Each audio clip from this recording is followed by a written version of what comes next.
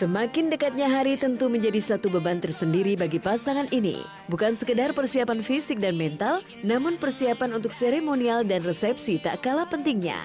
David mengaku lebih nyaman menyebar undangan sebanyak 500 saja agar kekusukan acara dapat dirasakan. Lantas bagaimana dengan souvenir dan sebagainya? Enggak sih, karena kita juga nggak pakai seremonial yang yang terlalu tertata. Karena saya saya lebih senang yang natural aja.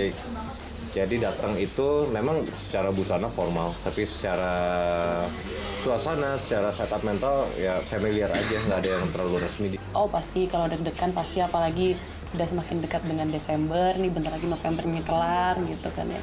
Kita nggak yakin gitu. bukan. saya saya kalau ngomong saya diingetin lagi. Enggak, deg-deg deg-degan mah pasti, deg-degan pasti. Yakin kok. Waduh. Yakin sih. deg-degan pasti cuma memang deg-degannya tuh gini, kita tuh berusaha seperfect mungkin untuk acara pernikahannya, kita berusaha semaksimal mungkin, sesempurna mungkin, tapi memang pasti ada yang mungkin tidak berkenan di hati yang datang atau gimana, tapi itu kita udah berusaha maksimal. Jadi perintilan-perintilan itu pasti banyak yang misalnya miss, ada yang kurang, tapi memang itu udah kita pikirin banget. Udah 90 persen. Yes. Yang belum itu sebar undangan. Karena memang desainnya belakangan. Itu karena kita sibuk sekali, kita ngurusin cuma berdua. Yang kepegang itu karena dibantu oleh teman saya di Bandung, Looking. Uh, dia yang bantu untuk undangannya, untuk desain apa segala macam sampai kita terhambat komunikasi. Baru kemarin punya waktunya, jadi emang belakangan selesai.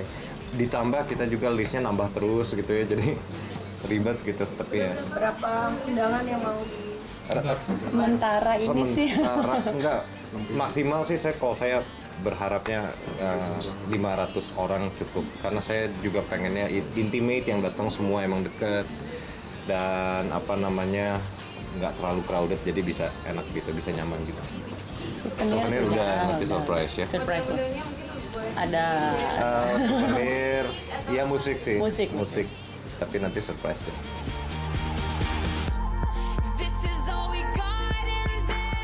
Kalau adat sih enggak Eh, secara misalnya adat Jawa dan segala macamnya enggak. Kita dari busana pemberkatan sampai busana resepsi semuanya European ya internasional. European Dan acara kayak siraman dan segala macamnya memang tidak mengikuti gitu kan ya. Kita lebih rock and roll sebenarnya untuk urusan mungkin itunya. Pak Amin yang mimpin siramannya Tinggal di sini. Pingit kalau untuk pingit sendiri tanpa dipingit sudah terpingit secara alamiah. Ya, jadi Maksudnya? tur kerja Oh, dia iya, sudah iya, kepingit oke. sendiri jadi tidak perlu ada adat pingit gitu paling ada sembayangan di rumah itu aja sih sebelum kita berangkat keluarga kebetulan cuma ibu dan adik ya. Dan kebetulan adik saya belum pulang dari Kanada jadi belum bisa menceritakan seperti apa yang akan dia gunakan eh, karena memang belum pernah fitting juga. Kita cuma sebatas tolong di sana diukur badannya diukur ini yang harus diukur. Kira-kira sekarang saya juga belum pernah ketemu adik saya selama tiga tahun nggak tahu bentuk badannya sekarang seperti apa. Jadi tolong fotoin sejelas-jelasnya jadi baru dikirim ke sini gitu. Here I am.